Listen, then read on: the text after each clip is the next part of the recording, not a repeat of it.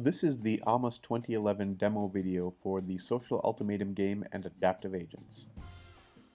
The Ultimatum game is an interaction which has been studied by many disciplines for almost 30 years. It is a two-agent one-shot interaction where traditionally $10 can potentially be split among the participants. One agent is the proposer and offers a potential split to the other.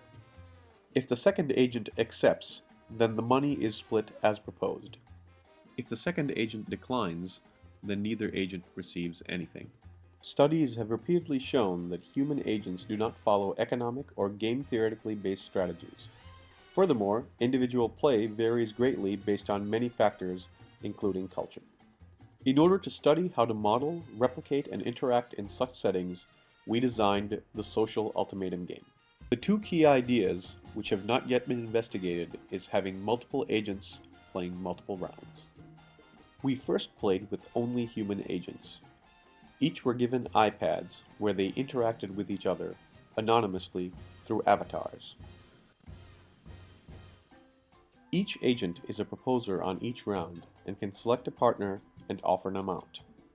They repeat this in every round and are able to vary their partners on each round.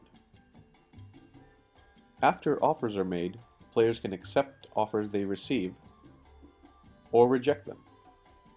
The data gathered is visualized, analyzed, and used to create adaptive agents that attempt to replicate human strategies. These agents are then used to play the social ultimatum game in mixed human-agent societies. For the AAMAS demo, we will continuously run multiple games in iPads with mixed human-agent societies we will keep a running scoreboard of top man and machine scores.